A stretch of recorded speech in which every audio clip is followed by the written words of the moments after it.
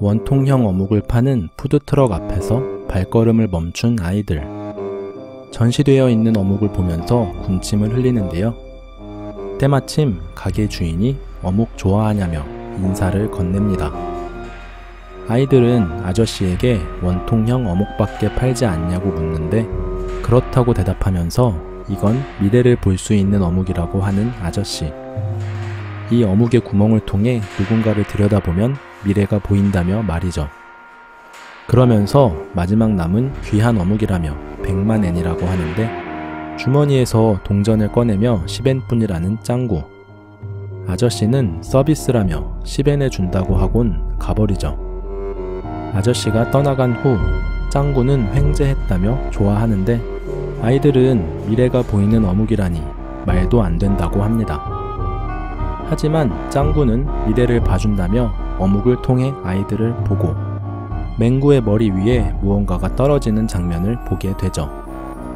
짱구는 잘못 봤나 싶어서 맨눈으로 보지만 맹구의 머리는 깨끗하고 다시 어묵을 통해서 보니 맹구의 머리가 지저분합니다. 잠시 후 맹구는 하늘에서 떨어진 까마귀 똥을 맞게 되는데 원통 어묵에서 맹구의 머리 위에 새똥이 있는 걸 봤다고 말하는 짱구.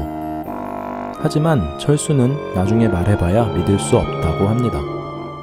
짱구는 한 번 더 해보겠다며 어묵을 통해 훈이를 보는데 왠지 모르겠지만 큰 소리로 울고 있는 훈이가 보인다고 말하고 그 소리를 듣고 훈이는 무서워서 도망치다가 넘어지게 되는데 결국 짱구가 본 미래가 현실에서도 똑같이 일어났습니다. 이번엔 철수가 어묵을 통해 짱구를 보는데 짱구가 개에게 물리는 미래를 보게 되고 짱구한테 자신이 본 걸 그대로 말해주는데 개가 자신을 이렇게 물었냐면서 어묵을 한입 베어 무는 짱구. 그 순간 웬 큰 개가 아이들을 향해서 달려오는데 철수가 본 미래와 비슷해지자 아이들은 깜짝 놀라서 도망가고 다행히도 견주가 목줄을 잡으면서 어묵의 미래와 달라졌습니다. 철수는 아마도 짱구가 어묵을 먹어서 미래가 바뀐 것 같다고 하는데요.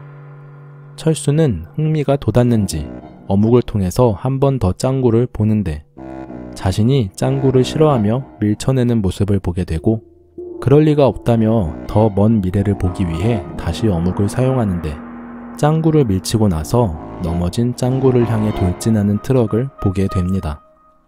철수는 놀라면서 그럴 리가 없다고 하다가 미래를 바꾸기 위해서 어묵을 먹기로 하는데 입술이 닿자 놀라서 짱구를 있는 힘껏 밀어버리는 철수.